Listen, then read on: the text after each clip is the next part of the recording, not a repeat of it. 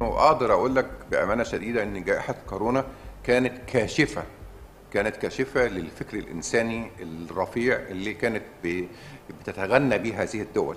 عندما حدثت الأزمة انكفأت كل الدول على على نفسها وكل دوله بقت حريصة على مواطنيها ونسيت فكرة الإنسانية خالص ونسيت فكرة ال- الم- المشاركة وشفنا الضغوط اللي مارستها الولايات المتحدة الأمريكية على منظمة الصحة العالمية وشفنا آه، محاولة محاولة بعض الدول منذ اللحظة الأولى لتسييس لتسييس ال- الجائحة الجائحة نفسها.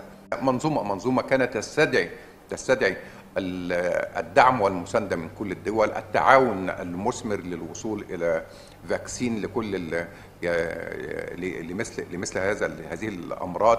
آه، دعم ومساندة الدول الفقيرة في تقديم الفاكسين أو تقديم العون ال- العون الطبي. شفنا إن ده تأخر بشكل كبير. أنا أنا أكاد أجزم إنه ال- الجمهوريين آه، تعاملوا بخفة مع القضية من- منذ اللحظة منذ اللحظه منذ اللحظة الأولى واكتفوا بتوجيه الاتهامات إلى ال- إلى الصين إلى الصين وغيرها. وده ما يعالجش ال- ما يعالجش المشكلة خاصة وإنه الوباء كان عالميا. والوباء يعني تخطى كل كل الحدود.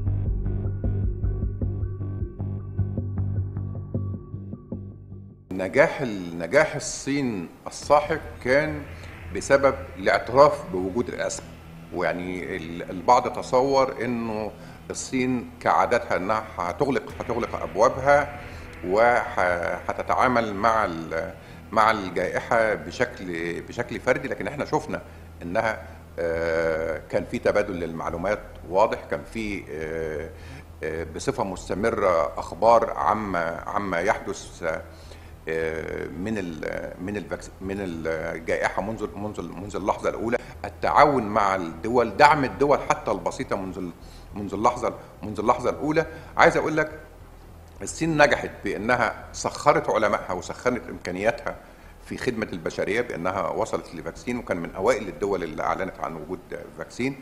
إنها شاركت كل الدول ال- الدول النامية في إنها أرسلت إليها دعم دعم صحي